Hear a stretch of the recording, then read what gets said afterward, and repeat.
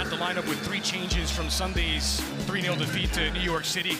He's top team this season and only one change in the 11 with the return of Matt Miazga from suspension On short rest. Toronto had one extra day to prepare for this contest. They're the only team in the Eastern Conference mathematically out of contention at kickoff. A back line. There's going to be moments, I think, that Steve Blessing can find those spaces. As I mentioned, there's going to be commitment from the Cincinnati team at times. Into the heart of the area, beyond the reach of Bonga, and off the woodwork from Blessing. Punched it away. Costa again as Barreal continues his run to the end line. And across the mouth of goal. Anticipated by Arias.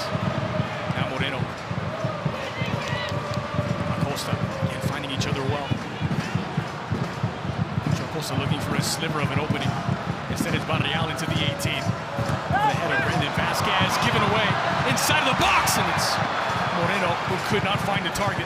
Incredible goals in the last game for both players too. Barreal with the set piece. Of course, Acosta. Swinger. It's knocked down for Arias. Oh, what a save by Gavran in his second MLS start.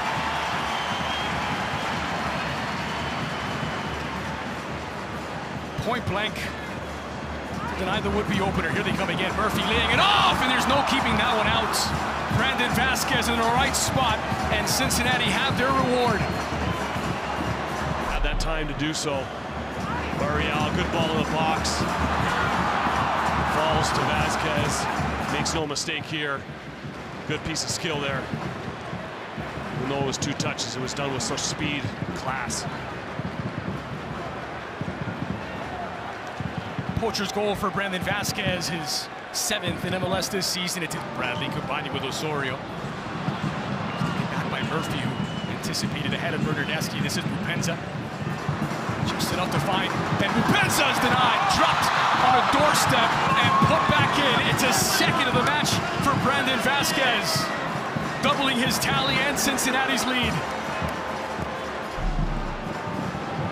Turnover first.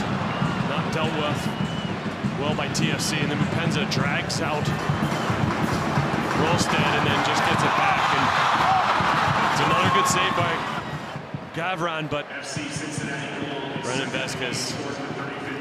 Another poacher goal, you would say, Dre? Sitting in the right place at the right time, but that's what you got to be. He's going to be rewarded. Better ball movement now from TFC, flighted into the heart of the box, and Miazga was there. Bernardeschi. For an opening, it's Federico Bernardeschi who took it himself. Oh, it's spilled! And Toronto half at deficit.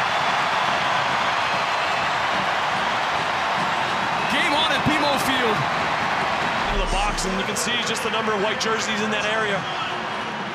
Made it a little bit more challenging for Cincinnati to defend, and Bernardeschi gets a clear look. In the end, it should be a routine save for Celentano, but it can happen to the best of you. But it was a better committed, committed effort from Toronto to get some more numbers in the box. Jonathan Osorio being one of them. Gets the fortunate bounce right to his left foot. It makes it an easy play from there. And Toronto responding in kind. It's been those second opportunities that have seen Cincinnati dominate the score sheet. Using the full width of the pitch, they find Lucho Acosta out wide. Barreal. A denied by the crossbar.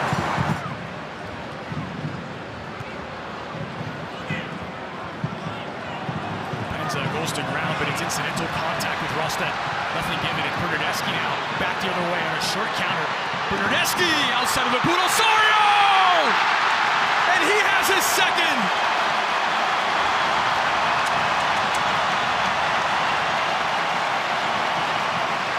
This goals that Jonathan Osorio will score, and it really comes down to just Bernardeschi running at Murphy there. Celentano gets a piece of it, but not enough of it. Good skill there from the Italian. And Jonathan Osorio just again in the right spot at the right moment. Does the easy part. Terry Dunfield, the manager of TFC, opted to play a little bit more of a committed numbers forward. Back. It's a good check. And good rewarding goal for TFC. That's a lovely leading ball to Arias. Arias!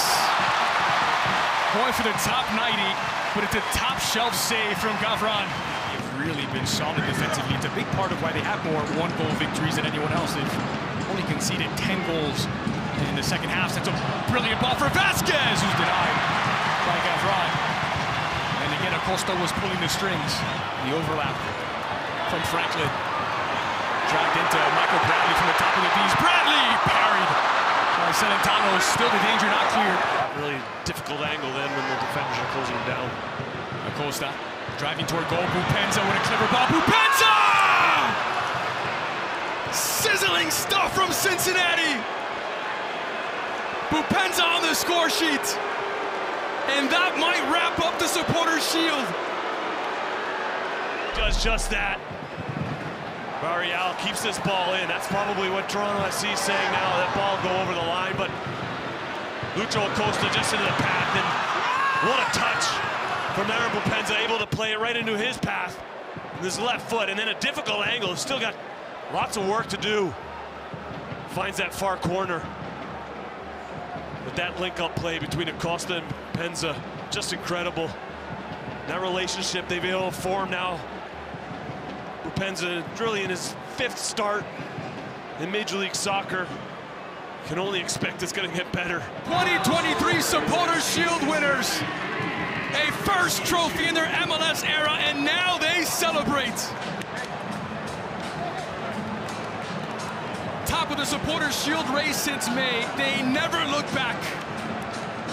And now a piece of silverware to show for it. Congratulations to Cincinnati. It's got to feel good too on the road, able to come in here, tied at half, and then do what you expect. Come into that second half, know you've got the class, and they did just that.